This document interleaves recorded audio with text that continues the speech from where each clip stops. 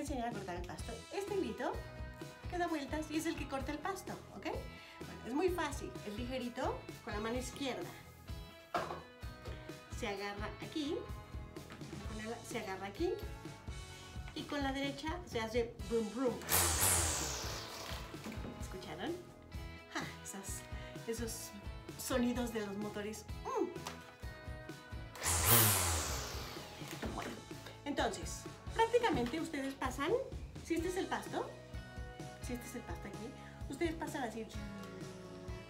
Hay veces que uno dice, bueno, sí, lo tengo que, que tener a cierta altura perfectamente bien. Yo la verdad iba medio rasa, iba bastante bien. Seguramente mi jardinero lo corta mucho mejor que yo, pero no importa, él ahorita tiene que estar guardado en casa también. Es porque todos nos cuidamos a todos y hay que hacer el jardín. Tenemos que hacer todas las labores de la casa, ¿ok? Se agarra realmente como quieran. Es como, como si estuvieran barriendo, pero nada más hacia acá, jalando, ¿sí? Y tiene estos dientitos, estos dientitos van a ir para abajo y van a ir jalando hacia ustedes todo el pasto que ya está cortado, ¿ok? Cuando hagan el jardín, recuerden de ponerse lentes de protección para que no les vaya a saltar algo.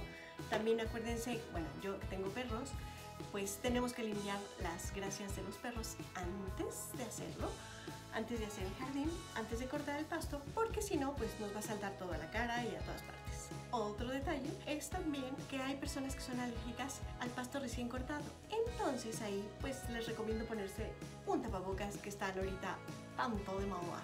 Otra cosa amigos, esto pasa.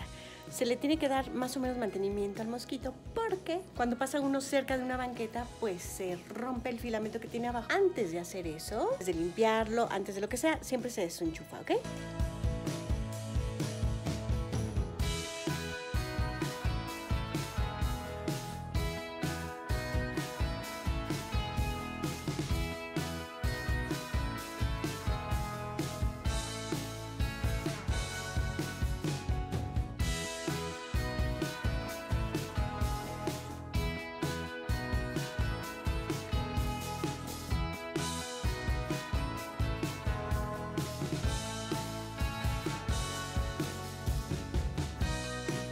Las banquetas le tienen que hacer así.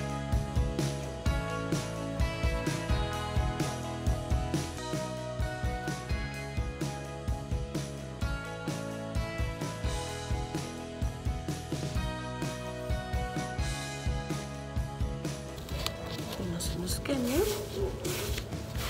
Tienen que sacar hasta llegar hasta acá. Ahí está. Va a chocar con este y se va a trozar otro poquito.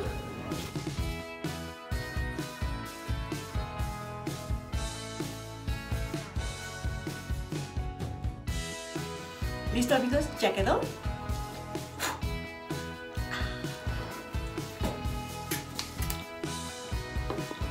Denos like. Bye.